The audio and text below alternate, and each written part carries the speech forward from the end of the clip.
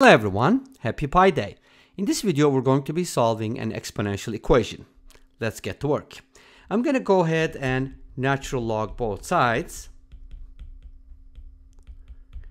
And that's going to bring the exponents down. In this case, we're going to get e to the x ln pi equals pi to the x ln e. As you know, ln e is equal to 1, so we can go ahead and forget about it because it's 1.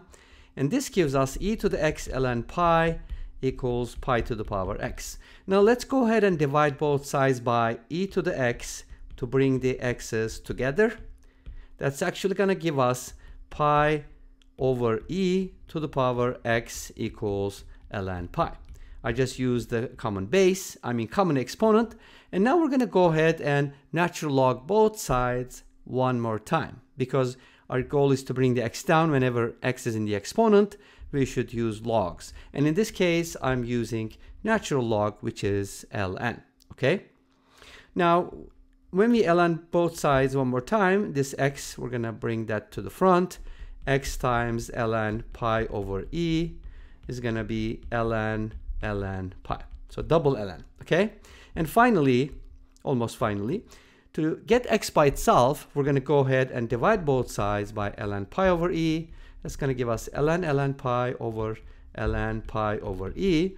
As you know, ln pi over e can actually be split up into a difference, so we can write it as ln pi minus ln e. And as you know, ln e is 1, right? We just talked about it. So we can actually write x as ln ln pi divided by ln pi minus 1. So that should be the answer for this problem, right? Obviously. Uh, but there is more than one way to write it, obviously. You could also use different bases. For example, we could start with the same problem, but log both sides, just base 10. We could even use base pi. I guess it would be really cool to use base pi, and you can definitely try that because today is Pi Day, right? Okay, great. So that's basically the answer. Let's go ahead and take a look at some numerical value uh, that I got from Wolfram Alpha and try to guess at this point what x is going to look like numerically and see if you guessed it right. Okay, here we go. So the numerical value for this equation is supposed to be 0.933938. So that's basically, it's pretty close to 1, right? Don't you think so? ln pi minus 1 is approximately ln, ln pi, you can pretty much say that, right?